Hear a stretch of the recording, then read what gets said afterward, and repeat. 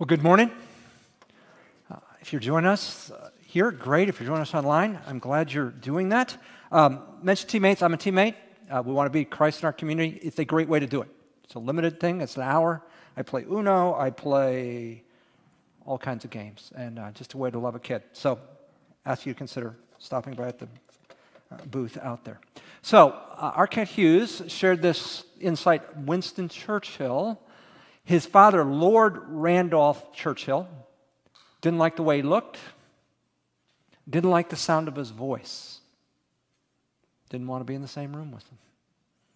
Winston Churchill would later write in his memoirs, I wish, even though he was born into aristocracy, he said, I wish I'd been born into the family of a bricklayer because I would have had a natural way to get to know my dad. You know what I'm hearing that? The pain of a man whose father was absent, who didn't want to be with him. Sometimes when we think about our Heavenly Father, man, circumstances are such, and, and where is He? And He seems distant, and, and, and we feel that pain. Where, where is God when he, when he seems absent? Well, I want to talk about that this morning. So if you got a Bible, if you'd open it to 2 Samuel chapters 5 and 6. We're going to go through these two chapters and wrestle with this question uh, what's our hope when God seems absent? What is our hope when God seems absent? So let me just kind of set context. Israel is transitioning in the book of 1st and 2nd Samuel from a loose federation of states to a, um, a monarchy. Uh, it opens with a, a, lady who's dealing with infertility. She prays and she says, If you give me a son, I'll commit him to you. And God does. In fact, he later gives her five more children. But this son is Samuel and, and he is raised up by God to be a prophet. Israel had not had a word from God. Visions, words from God were limited. And Samuel is, is rising up, and by this time, by now, he is recognized as the voice of God. Uh, throughout 1st and 2nd Samuel, we will see that kind of the, the ubiquitous enemy of Israel are the Philistines. And they go into a battle with the Philistines and they lose. This happened in chapter 4, and they come back and thought, you know what, the Lord defeated us. But rather than dealing with the fact that the current priests' sons were violating the sacrifice of God, and that man Eli wasn't dealing with his sons, they thought, rather than deal with those issues, they thought, well, we'll get the Ark of the Covenant, we'll take it into battle again with us with the Philistines, and God will be kind of manipulated. He'll be coerced. You can't lose the Ark in battle, and so we'll guarantee a victory. Well, that doesn't go very well. They lose the battle they come back with information, and Eli is waiting and say, How did it go? He said, Well, the runner said it didn't go well. In fact, your two sons died today, the same day in battle, fulfilling a prophecy. Eli hears it and falls back and breaks his neck. He dies. Then his daughter in law is giving birth, and she dies in labor. And they name the son Ichabod, for the glory of God has departed. And that's where we are. And it doesn't look good. And you wonder, where is God? The, the Ark of the Covenant, his very presence, is in the hands of the Philistines. That's where we pick it up in chapter 5, verse 1. It says, Now the Philistines took the Ark of God and brought it from Ebenezer to Ashdod. Then the Philistines took the Ark of God and brought it to the house of Dagon and set it by Dagon. So this is their way of saying, Israel, their God is under our control. We're going to put him in the house of our God. He's being controlled by that.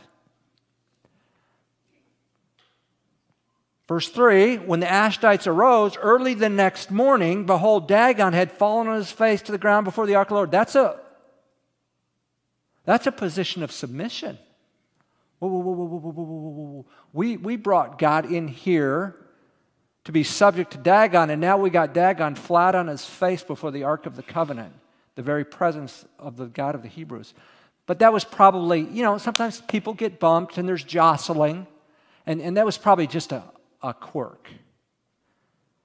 So they took Dagon and set him in his place again. Now, if you're a little bit more cynical, you could say, well, Dagon needs human hands to prop him up.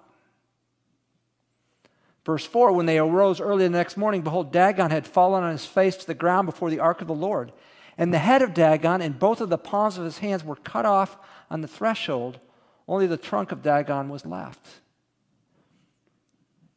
In ancient times, the hands and the head, removing the hands and the head, were a grisly trophy of victory. Don't miss the symbolism here. Dagon is being defeated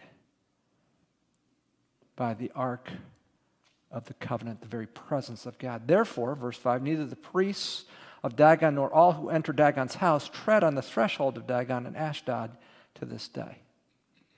So the hand is a symbol of power. The hands of Dagon have been cut off.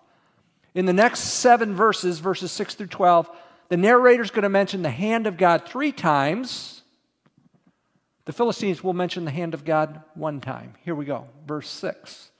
Now the hand of the Lord was heavy on the Ashdodites, and he ravaged them and smote them with tumors, both Ashdod and its territories. That's the hand of God coming against the people of Ashdod. When the men of Ashdod saw it was so, they said, The ark of the God of Israel must not remain with us, for his hand is severe on us, and Dagon our God. Whoa, whoa, whoa. You captured the ark, the presence of God, and you brought it into the house of your God, and now you're saying the hand of the God of the Israelites is heavy on us, and he's heavy on our God. That, that's starting to turn. But, but you, you can't deny what you're seeing. So if, if you're in Ashdod and you're breaking out with tumors, what do you want to do with this ark? Well, send it on. So that's what they do. When the men of Ashdod saw it was so, they said, Ark of God, must not remain with us. Oh, I've already read that, but uh, in case you missed it, you get it twice, a little bit more for your sermon. So, verse 8, they sent and gathered all the lords of the Philistines to them and said, What shall we do with the ark of the God of Israel? And they said, Let the ark of the God of Israel be brought to Gath. And they brought the ark of the God of Israel around. So, how are you feeling if you're living in Gath at this point? Thanks. Yeah, I, I think I, I don't want that. I'm going to I'm going to blow up a bridge or something so they can't come. I, I don't want that. I'm here, I'm on the internet, I'm hearing what's going on. After, verse 9, after they had brought it around, here's our word again the hand of God was against the city and was very, with very great confusion. He smote the men of the city, both young and old, so that tumors broke out on them. So what do they do? It's Gone from Ashdod, got tumors, going to Gath. What are they going to do? They're going to send that Hummer on. Verse 10 so they sent the ark of God to Ekron. And as the ark of God came to Ekron, the Ekronites cried out and saying, They have brought the ark of God of Israel around us to kill us and our people. They sent, therefore, and gathered all the lords of the Philistines and said, Send away the ark of the God of Israel, and let it return to its own place, so that it will not kill us and our people. For there was deadly confusion throughout the city. Why? The hand of God was very heavy there. We go from Ashdod to Gath to Ekron. You see a pattern here. And the men who did not die were smitten with tumors, and the cry of the city went up to heaven. So let's back up here. Not long ago, you take the Ark of the Covenant, go into battle, and you lose it. What do you think about God? Where is He? How did that happen? How is anything good going to come out of this? God looks weak. In those, that culture, you prove the strength of your God versus the other by, by the military conquest. And they had heard, the, the Philistines had heard about coming out of Egypt, and they thought this God's powerful, but their conclusion was we've conquered God. But they bring that into their land and they take it to three cities after they fall. See, the statue of their God on flat in his face with his hands and face cut off. They see tumors breaking out among three people. Well, maybe it's not as it appeared. Maybe God is working in this lost to make his name known. So I'm wondering about your life and my life. Do you have circumstances where you think, this isn't going well? Sure seems like God is losing here. So, what are you talking about, Andy? I'm talking about a cancer that the treatment, the numbers keep going the wrong way. I'm talking about a relationship with a spouse, a kid, a parent, an employer, an employee that you're doing everything you know to do, and it ain't getting any better. I'm talking about a job search that, I mean, everybody says they're hiring, right? Everybody's hiring. And, and you think, where is God? Well, if, if we draw any conclusions from this, even when it seems like God is losing, he, he is present and He is working, moving His name and reputation forward. Now, now, don't mistake that. There were, there were consequences to their foolish decision. People died, the ark was lost. There will be consequences, but that doesn't mean God isn't present and that God isn't working. Maybe for you it's not a personal thing, but it's something you see going on in culture. Oh, we're just a few months away from elections, aren't we? Isn't that great? Just a few months away from elections, and you think this candidate has got to win, but you know what? That candidate might win. And if that candidate wins, God is still present and he is still at work. And you see this bill or this thing is needs to get passed and enacted and it doesn't. You know what? Even when that bill doesn't get passed and doesn't get enacted, God is still at work. There's never a reason for us to throw up our hands and think God's no, he's sovereign, he's in control and he's working. At least that's what's going on with the Philistines so far. Verse 6 says, uh, chapter 6 says this Now the ark of the Lord had been in the country of the Philistines seven months. It's been a long seven months. And the Philistines called for the priests and the diviners, saying, What shall we do with the ark of the Lord? That's a great question because it's causing all kinds of problems. Tell us how we shall send it to its place. They said, If you send away the ark of the God of Israel, do not send it empty, but you shall surely return to him a guilt offering. Then you will be healed, and it will be known to you why his hand is not removed from you. If you're returning a guilt offering, you're guilty for something. What are they guilty of? They're guilty of thinking they could control the God of Israel. You thought you had this. You thought you could put him in your house, in your place, and you had it, and, and you were wrong. I mean, you were really, really wrong. And you need to make atonement for that. So, how are you going to do that? Verses 4 and 5. Then they said, What shall we, the guilt offering, which we shall return to him? And they said, Five golden tumors and five golden mice, according to the number of the lords of the Philistines. Make no mistake, they're representing their lords and they're saying, We're sovereign to this God. For one plague was on all of you and on your lords. So you shall make likenesses of your tumors and likenesses of your mice that ravage the land, and you shall give glory to the God of Israel. Now there's a statement. Perhaps he will ease his what from you? His hand from you. Your gods and your land. At least you can give the, the Philistines credit. They're, they're, they're learning from other people's mistakes. Look at verse 6. Why then do you harden your hearts as the Egyptians and Pharaoh hardened their hearts? When he had severely dealt with them, they did not allow the people to go, and they departed. They departed anyway. Pharaoh in Egypt cost his people because he would not recognize the power and sovereignty of God, and they kept suffering and suffering and suffering. And they said, Let's not go that way. Let's not go that way. So they're going to um, devise one last test to see if this indeed was the Lord. And we get that test in verses 7 through 9. Now, therefore, take and prepare a new cart and two milch cows on which there has never been a yoke, and hitch the cows to the cart and take their calves home away from them.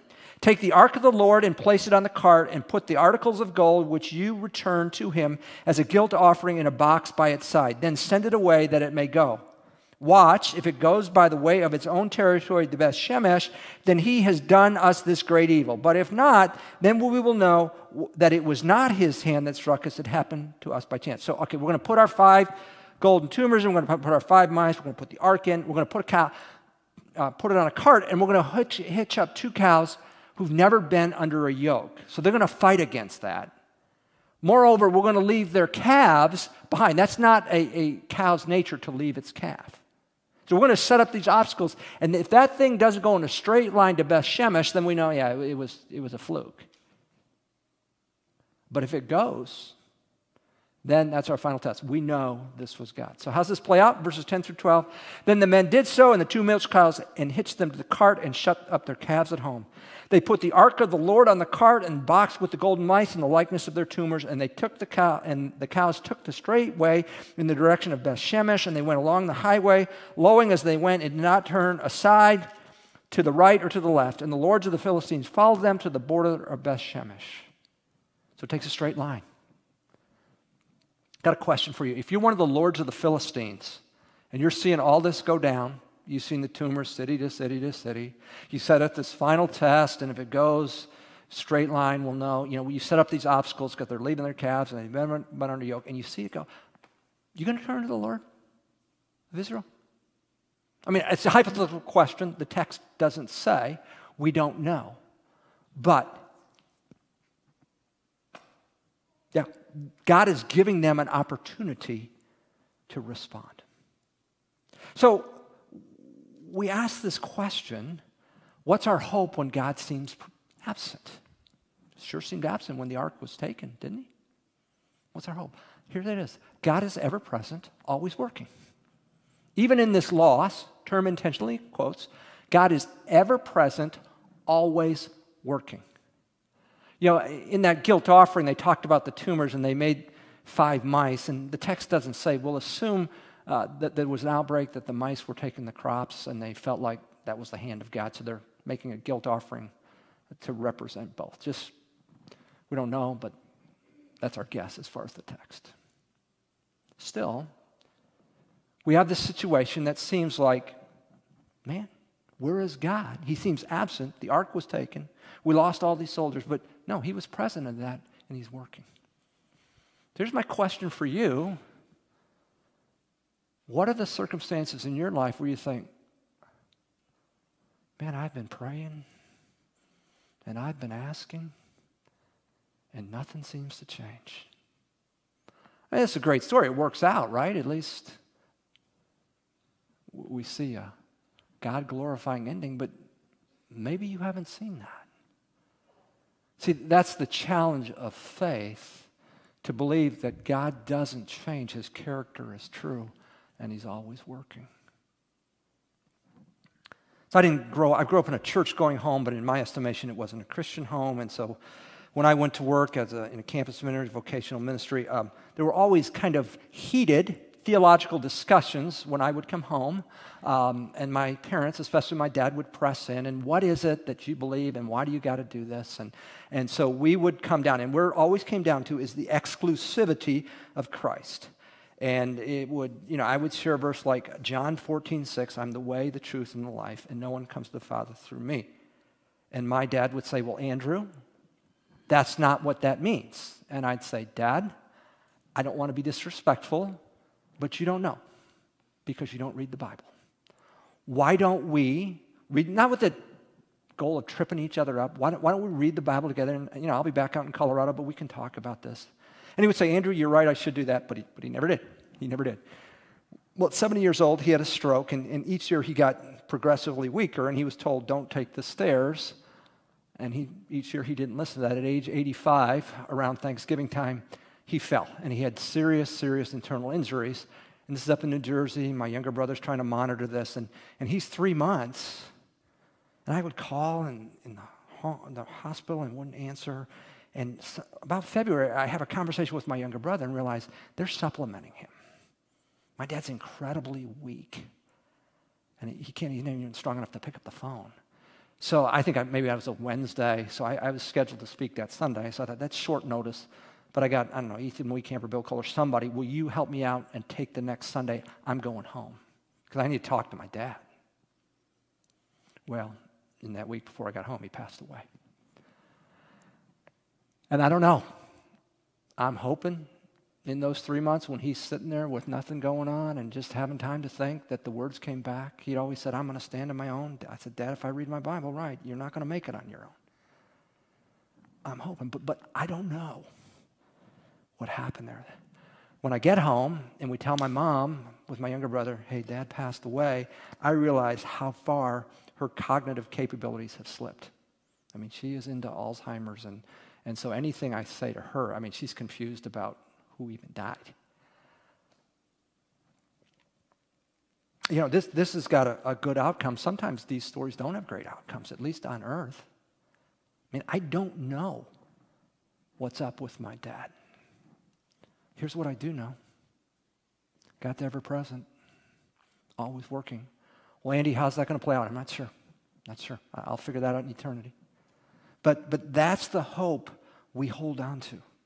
God is ever present, always working, even when we don't get what we want.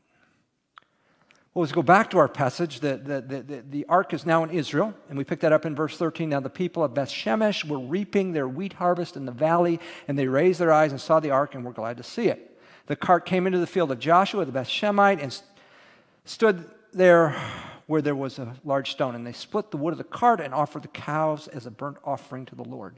The Levites took down the ark of the Lord and the box that was in it, in which were the articles of gold, and put them on the large stone. And the men of Beth Shemesh offered burnt offerings and sacri- offered sacrifices that day to the Lord. When the five lords of the Philistines saw it, they returned to Ekron that day. And I'm still wondering did you respond to the God of Israel? We don't know. These are the golden tumors which the Philistines returned for a guilt offering to the Lord one for Ashdod, one for Gaza, one for Ash- Ashkelon, one for Gath, and one for Ekron. That's, those are admissions of submission of those lords. And the golden mice, according to the number of all the cities of the Philistines, belonged to the five lords, both of the fortified cities and of the country villages. The large stone on which they set the ark of the Lord is a witness to the, this day in the field of Joshua the Beth Shemite. Verse 19 and 20, a little bit grim. He struck down some of the men of Beth Shemesh because they had looked into the ark of the Lord. He struck down of all the people 50,070 men, and the people mourned because the Lord had struck the people with a great slaughter. Then the people of Beth Shemesh said, Who is able to stand before the Lord, this holy God? No one. And to whom shall he go up from us? And you say, Why? 50,070. Why? And my answer is, I don't know. But I do want to take this lesson. Let's not trifle with God. That ark was the very symbol of his presence, and you were told to approach it in a certain way. Let's not be lackluster in our approach of God. Yes, Jesus is our friend, He is our Savior, absolutely, but He is the eternal Son of God. Let's not lose the awe and reverence that is rightfully His. He's perfect in those things, but let's not lose Yes, he's our friend, he's our brother, but he is the eternal God. So here's what happens with the ark. They, verse 21 they sent messengers to the inhabitants of Kiriath Jearim, saying, The Philistines have brought back the ark of the Lord. Come down and take it up to you. Then the men of, men of Kiriath Jearim came and took the ark of the Lord and brought it into the house of Abinadab on the hill and consecrated Eleazar his son to keep the ark of the Lord. From that day that the ark remained at Kiriath Jearim, the time was long, for it was 20 years, and all the house of the Lord, all the house of Israel lamented after the Lord. Look, I hope this passage lifts our hearts and encourages us. God is always present, ever present, always working. But the reason we can live that assertion is because Jesus went to the cross alone. His first words on the cross were, My God, my God, why hast thou forsaken me? That was a separation from his Father. Why? 2 Corinthians 5.21 says, He who knew no sin, is a description of Jesus, became sin in our place. He literally took sin on. And the Father can't look on sin. It, it's, and so there was a separation. Because Jesus endured that separation, you don't have to, and I don't have to. And even when we're going crazy and wondering what is happening, um, we can know God is ever present, always working. Now, I know for some of us, we're in circumstances and situation, Andy, this is just really hard to believe. And that's part of the challenge of faith. There was a man who had a son that was um, demon possessed, and the disciples couldn't pull it out. And Jesus coming down from the Mount of Transfiguration and uh, the guy's desperate. He says to Jesus, if, if you can. And Jesus said, if. And the guy says, I believe, help me in my unbelief. Isn't that not where some of us live? I do. If that's where you are, make that your prayer this morning. I believe. help me in my unbelief. When I get done, we're going to sing a song called Waymaker. It affirms that this God is always at work. Would you make that your prayer or say, God, I'm not there. Could you help me understand that? So, March of 2002, um, the elders at Sierra Vista Baptist Church and Andy McFarland thought, you know, it's probably best that we don't keep working. We had amicable parting, and we said we're going to take six months and we're going to make it public so everybody knows, so there's no rumors. And you look and we'll look. And, and so I was free to talk to everybody that's um, and I look broadly evangelical, evangelical free, all, all, all, kinds of different denominations. Well, my, my home denomination was with the Southwest Conservative Baptist Association, and they saw my campus crusade background and they said, You ought to plant a church. Oh, really? Where? Well, Phoenix. We were about three hours from Phoenix. We're in the southeast corner of the state. And I said, Well, gee, I don't know anybody in Phoenix. Well, let me tell you about Phoenix. Phoenix, and this is in 2002, is um, clearing 28 acres a day for development. Phoenix at that time was getting 7,000 brand new people a month moving to the metro area. So, in a little less than four years, you move all of Lincoln, Lancaster County to metro Phoenix. And let's think about the churches and, and just kind of where it was. People were buying lots, holding them, and then flipping them in three months and making $50,000. Not houses, lots. That's where it was. And, and we need churches. And I thought, well, hope maybe, maybe I don't feel like I'm a church planter, but maybe. So I drove up, to, it's about a three hour trip up to Phoenix, and that night on I 10, there's a fatal accident, so everybody has to go off. So a three hour trip becomes a five hour trip. And I stay that night with a guy, he's a church planter, he had moved down from New York, and, and he says, Andy, tomorrow you're going to hear about Palmcroft Community Church, and they're at 600 after six months, and they've had this many people come to Christ, and blah, blah, blah, blah. And it's all true, but what he's not going to tell you is they started with 250 people. Um, his father in law is the uh, senior pastor of the biggest conservative Baptist church in the country, is, which is in Metro Phoenix, and they planted out of that church, and they got 50,000 up front, and blah, blah, blah, blah, blah. So the next day, I meet all these different church planters, and I hear from this guy, and I get a glowing report, and I talk to about six or seven other guys who are dying. They are getting nowhere. And I, I mean, I've only met them, but they seem like good guys. They seem like uh, committed to the cause of Christ, gifted, but they're all kind of dying. And in fact, one of the guys I met when I left Sierra Vista to come to Lincoln Berean uh, ended up being the interim pastor where I was. He just folded his plant. That was a really long drive back to Sierra Vista because I thought, I don't know anybody, a church that could launch me out. I don't, I don't know anybody. And I, I know you need um, resource, you need people and money. God, why did I make this trip? So I hire on at Lincoln Berean, and they've got a North Church plant, but they've already picked the guy to do that. And uh, a month later, he comes in and he candidates, and it doesn't go very well. And about nine months later, I get an email from Bryan Clark, who's the senior pastor there, who is known for his short, cryptic emails. Uh, lunch Tuesday, September 12th. Well, people, when the boss man says lunch Tuesday, September 12th, here's what you say. You say, absolutely, what time and where? And I thought, I didn't think I was going to get fired, but I said, Hope, I, I think I'm going to be corrected here. And um, he wants to talk to me about the church plant.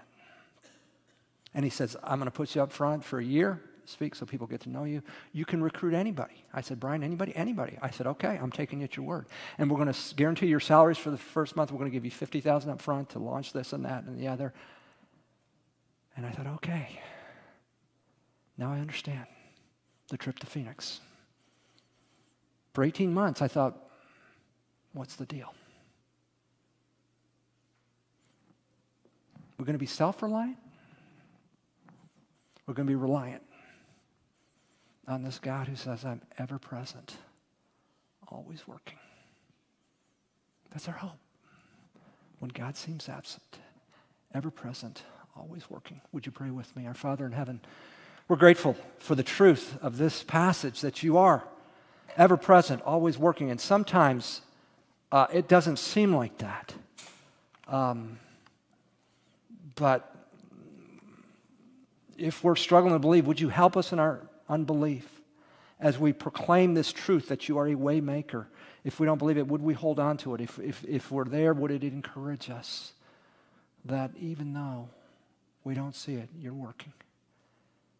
Lord, we pray this in Jesus' name. Amen.